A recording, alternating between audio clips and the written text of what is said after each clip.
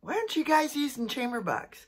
They're just like gift certificates and they encourage all of the recipients to spend money locally in your business.